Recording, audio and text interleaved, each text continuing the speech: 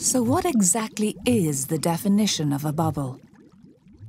People buy simply because they believe that everybody else is going to buy. You get what is called a bandwagon effect. And from time to time, you then get a situation where prices go far too high. And that is really what we call a bubble. Bubbles are characterized by volatility, with shares swinging from wildly over to wildly underpriced, often in a matter of minutes. Robert Shiller from Yale University talked about uh, bubbles arising from irrational exuberance. And what he's done to actually measure bubbles is he's defined um, excess volatility to mean the degree to which stock prices are much more volatile than the underlying fundamentals, which in theory they're tracking. There are also more specific types of bubble. The first form of bubbles are, what might be called um, bubbles of belief or fads. These are bubbles that are really driven by hype. The tulip bubble in 17th century Holland was a good example of this. Flowers were traded for up to 10 times the annual wage of a skilled craftsman, or in exchange for a six-bedroomed house.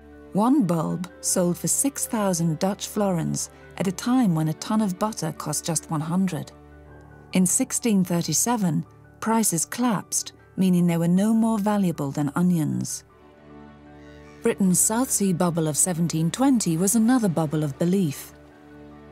Set up to trade in South America, the South Sea Company's promise of huge growth led to fevered speculation. Sir Isaac Newton, who bought shares in the South Sea bubble, made an enormous amount of money, sold the shares. He was fine. And then he saw it going on up, and he bought again. And he lost it all. After losing £20,000, he observed that he could calculate the movement of the stars, but not the madness of men.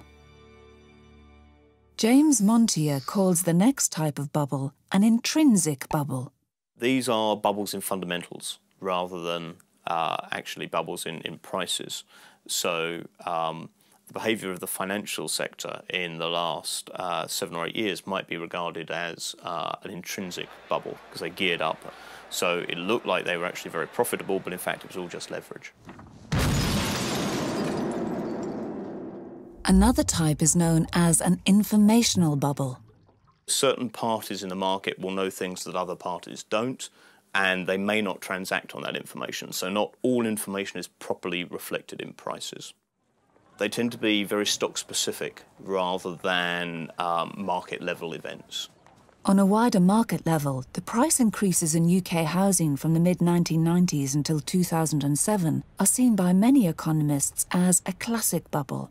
In my view, the big rise in house prices in the UK and some other countries in the last 10 years is a bubble. Some people argue that with the low interest rate environment we've had in the last several years, with the lack of housing supply and so on, that, that um, the high prices of houses are justified. Um, I, I don't think that's right. Um, I think that what's happened is we've seen people convinced that house prices would forever rise, and they've been buying bigger houses, more expensive houses than they otherwise would need. And so we've actually had uh, excess demand created by the view that house prices would always go up. Uh, and I think for me that's what justifies calling it a bubble.